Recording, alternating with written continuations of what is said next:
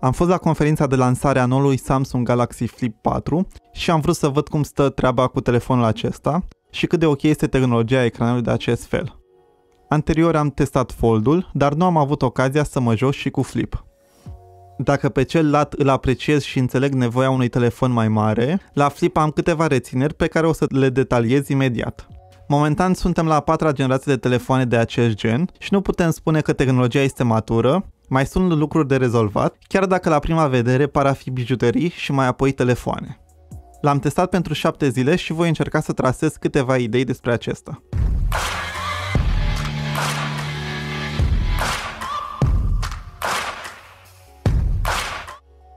Așa cum ne-a obișnuit deja, nu mai avem experiență de unboxing, așadar în cutie avem doar cablul de încărcare și cheița pentru SIM. Proporțiile sunt interesante, telefonul seamănă foarte mult cu diagonala pe care o propune Sony pentru dispozitivele lor. Avem pe partea dreaptă senzorul de amprentă poziționat foarte bine și un pic mai sus butoanele de volum. Telefonul are două ecrane. Cred că ar trebui să discutăm întâi despre display-ul principal. Avem de a face cu un display AMOLED de 6,7 inch, cu 1080 pe 2640 de pixeli, HDR10+, ce ajunge la 1200 de nit și este mai mult decât ok în lumină puternică. Culorile sunt foarte ok, contrast bun, uniformitate foarte ok. Este de apreciat că tehnologia display-ului ajunge aproape la fel ca cea din seria S, ca performanțe.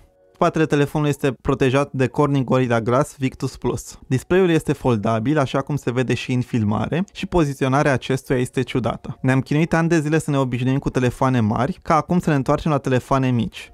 Dacă m-aș raporta la Fold, prefer ca dunga ecranului să fie cumva pe lateral, nu la jumătatea acestuia. Nu este foarte deranjant, dar dunga este prezentă, o simți la mână, iar dacă vei alege să îl folosești îndoit, unul dintre ecrane o să aibă unghiuri de vizibilitate nu tocmai ok. Cu lucrurile acestea va trebui să te obișnuiești. Al doilea display are 1,9 inch și are mai multe opțiuni față de versiunea anterioară. În 7 zile de folosire nu m-am obișnuit cu cel de-al doilea ecran, încă am tendința să deschid ecranul principal și să îl folosesc în versiunea completă. Telefonul se manevrează destul de greu cu o singură mână, nu reușesc să-l deschizi decât cu două mâini și nu poți parcurge tot ecranul dintr-o singură mișcare. Dacă aducem în discuție modulele de camere, ar trebui să ne dea de gândit din specificații că nu este un telefon destinat pretențioșilor pentru fotografie. Avem două module de camere diferite, un modul standard și un modul ultra-wide. Nu există unul de zoom 3x sau mai mult, poți doar să te folosești de zoomul digital la nevoie.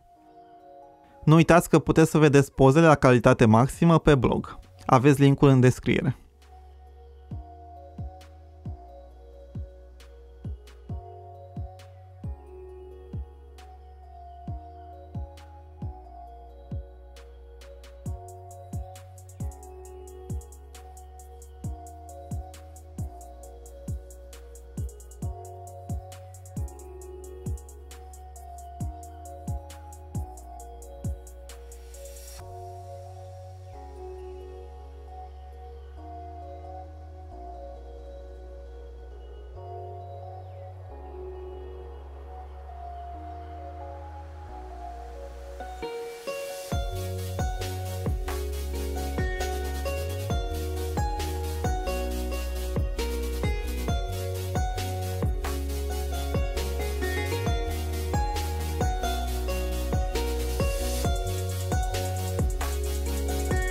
Pe partea video avem limitare la 4K 60dp.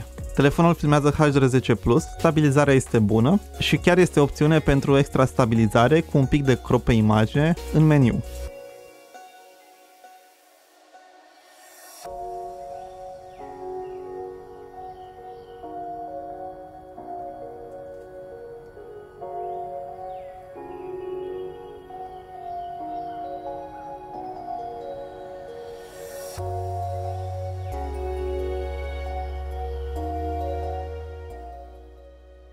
Cât despre performanțe, avem de a face cu noul procesor de la Snapdragon, cel care nu mai are probleme de încălzire excesivă, așa cum se întâmpla la seria anterioară. Este mai rapid cu 20% decât Exynos pe CPU și cu 40% mai rapid pe GPU.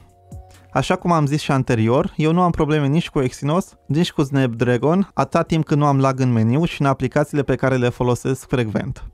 Pentru că sunt împărțite componentele în două, simt că doar partea de sus se încălzește, iar partea de jos este chiar foarte rece. Pe măsură ce veți face teste pe o perioadă mai lungă de timp, undeva la 30 de minute, procesorul va intra un pic în throttle și performanța nu va mai fi la fel. La partea de sunet avem difuzoare stereo, tunate de AKG, ca orice flagship Samsung. Nu există jack audio, dar sunetul se aude așa cum trebuie, este spațial, echilibrat. Bateria este un pic mai mare decât cea de anul trecut și este de 3700 mAh.